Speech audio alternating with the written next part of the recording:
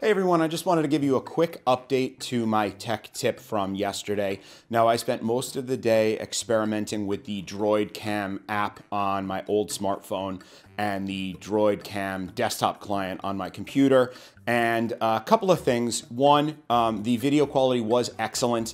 Um, I found that the, um, the camera on my old smartphone worked uh, exceptionally well. I also experimented using the camera in my um, Samsung um, S10 Plus, and that was even better. Um, but very, very good camera quality, a little bit better lighting. One thing I noticed is that the framing is a little different going from this, uh, the webcam camera to the smartphone camera. So I had to play with the position of the smartphone to get a good frame and, and lighting and all that. But once I had um, sorted that out, it, the quality was very good. The one thing I will say, and I'm a little disappointed with, is the Droid Cam app on my smartphone had some kind of background task running all day and it completely depleted my battery in no time, even when I wasn't using it. I just had the smartphone sitting on the desk next to me.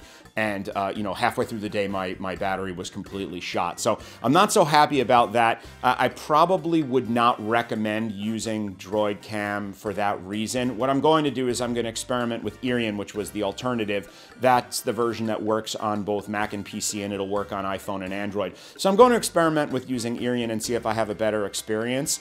And I'll definitely definitely um, do an update video once I do that. But thus far, you know, the functionality of Droid Cam was great. Um, the issue is that it just completely burned through my battery, which isn't going to work. Even when it was plugged in, it cranked through the battery and, and the phone shut down.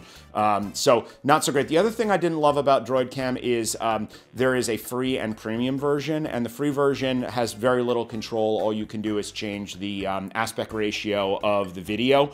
Um, the pro version has a zoom feature, and you can uh, play with the exposure and white balance and a number of other settings. I don't think that's the case with Iriun, but I'm not entirely sure. I'm going to experiment with that, and again, I'll update you all on how that works. So I just wanted to give you a quick update. If you've tried Droid Cam and had good experience with it and haven't had this battery issue, um, definitely leave a comment and let me know because it may have just been my phone that caused the problem, although I tried it in two phones and it affected both the same way.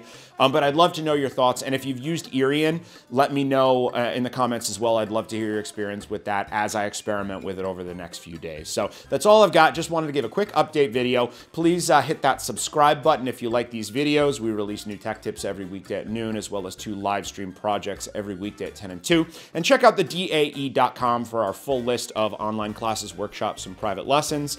And if you have an idea for a tech tip you'd like to see me create, throw it in the comments and I'll do my best. Thanks and have a great day.